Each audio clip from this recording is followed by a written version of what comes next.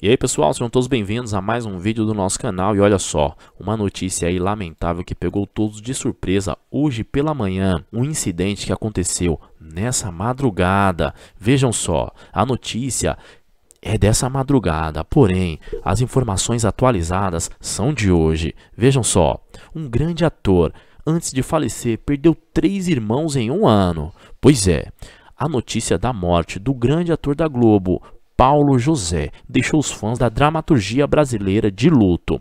O famoso ator faleceu nessa quarta-feira, aos 84 anos. Ele estava lutando contra um quadro de pneumonia, internado em um hospital do Rio de Janeiro. Porém, a morte de Paulo não foi o único marco triste da sua família. O veterano ator perdeu três de seus irmãos no ano passado. Em sua família foram cinco meninos. Ele foi o segundo a nascer. Com a morte do ator, o único vivo dos irmãos é Arlindo Fábio, professor emérito da função Oswaldo Cruz. Ele tem 79 anos. Os outros irmãos que faleceram no ano passado foram Antônio Cláudio Gomes, de 76 anos, engenheiro, homenageado pela UFRJ.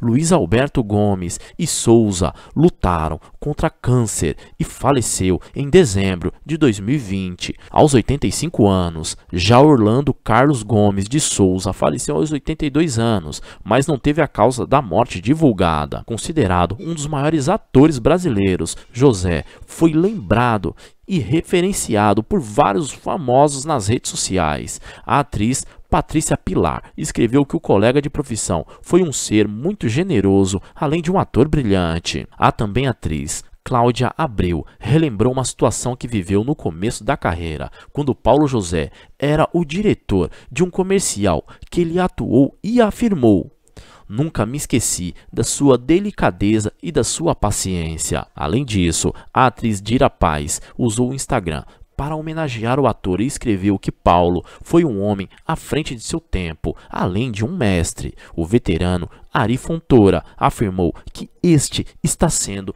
um ano muito difícil e lamentou a morte do colega como uma grande perda para a arte. E aí, galerinha, você também acha que esse grande ator fez a diferença na dramaturgia? Deixe aqui nos comentários. Deixe também a sua mensagem de força e apoio a amigos e familiares. Eu vou ficando por aqui, mas não se esqueça de deixar o seu like e ativar as notificações. Um grande beijo e um forte abraço. Espero vocês no próximo vídeo. Tchau, tchau, pessoal.